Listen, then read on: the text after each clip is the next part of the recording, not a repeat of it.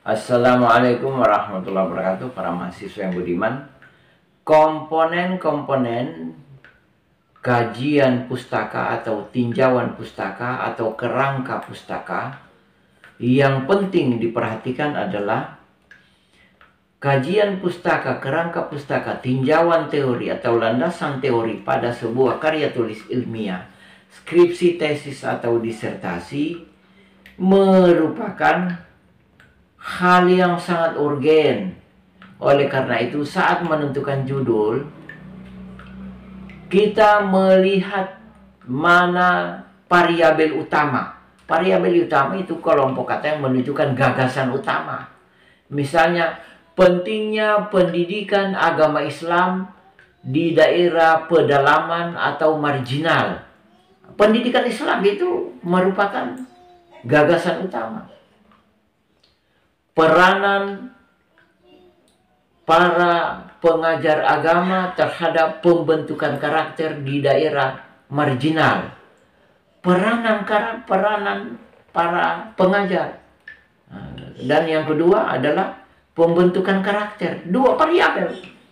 Jadi sebenarnya seorang mahasiswa harus dapat menentukan mana main idea, mana gagasan utama, mana variabel utama dan mana yang sifatnya kata bantu dalam sebuah judul penelitian, skripsi, tesis atau disertasi. Begitu rekan-rekan sekalian. Jadi jangan kita terjebak dengan uh, menganalisis atau menegaskan istilah pada penegasan istilah kata bantu. Tetapi kita lihat mana kata dasar, mana main idea, mana gagasan utama pada judul kita Nah, itu yang harus kita analisis, itu yang kita kembangkan. Jika judul kita peranan pendidikan terhadap peranan pendidikan agama terhadap pembentukan karakter di pada masyarakat marginal, maka yang pertama kita kembangkan teori tentang pendidikan. Kemudian secara umum pendidikan agama, uh, pendidikan agama rukun Islam, rukun iman.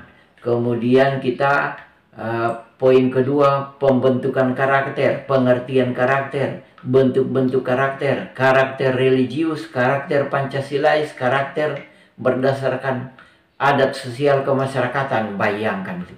Jika kita ingin kembangkan lebih lebih besar lagi ya kita uh, start lagi dari sejarah pendidikan, sejarah pendidikan agama Islam, turunnya pendidikan ajaran agama Islam, agama Islam merupakan ajaran agama yang terakhir turun berdasarkan firman Tuhan, agama samawi.